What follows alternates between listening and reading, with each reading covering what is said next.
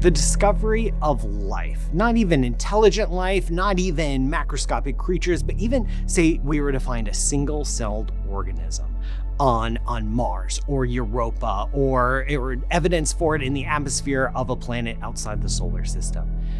This would be game changing for humanity because Earth is the only known planet in the entire universe that has life.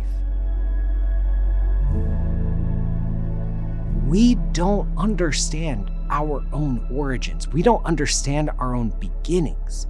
And if we were to find life on another planet, then we would know finally that we are not unique. As humans, we are constantly building and forming communities. It's, it's one of our strengths.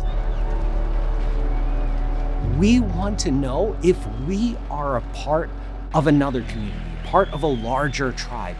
And when we look out at the stars and we see those thousands of dots of light in the sky, we can't help but ask is, is this all just for us? Or do we get to share it with someone else? It's silent out there, but we don't know if it's silent because we're alone or it's hard to hear. Everything's far away everything's hard to look at. And the choices are infinite. When you look out at the night and you feel the enormity of the universe weighing down on you, uh, as scientists, we don't shrink from that. We don't turn our backs to that. No, we look nature in the face and say, We are going to understand you. You don't scare us. These aren't just questions, they're answerable questions, and we have the tools and the math is the real language of science. This is how we approach the universe. We look out at the sky, those are 6,000 stars visible to the naked eye on our sky. We don't know which one of those might host life or not. Right there, there's 6,000 candidates. How do you pick? How do you get started on a search like that?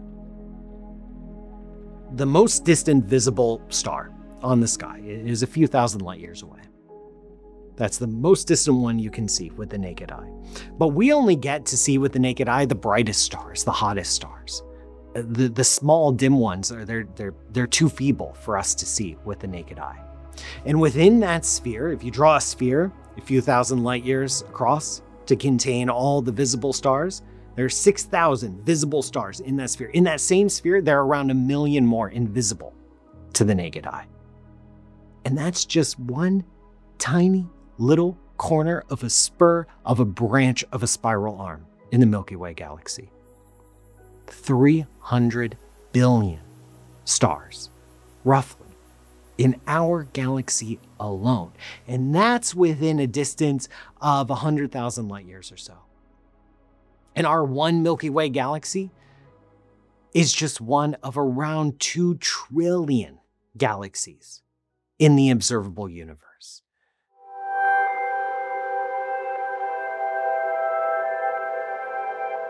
Science is an act of courage.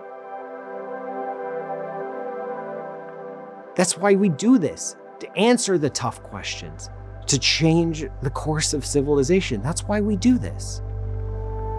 We have a good idea of how to search for life, which is to search for life that looks like our own. Yes, there might be many varieties of life out there that look nothing like Earth based life, but we don't know what those look like. So, we are intentionally limiting our scope.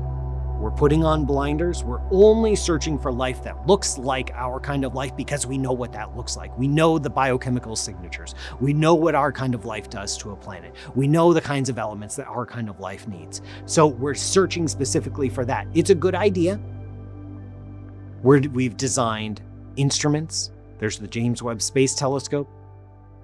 In design now is the successor to that, the Habitable Worlds Observatory, that will be specifically designed to hunt for life on a select target of worlds. Copy. Either this program will work in the next few decades, where we will find a signature of life on another world, or it won't. The only way we can know is if we try it.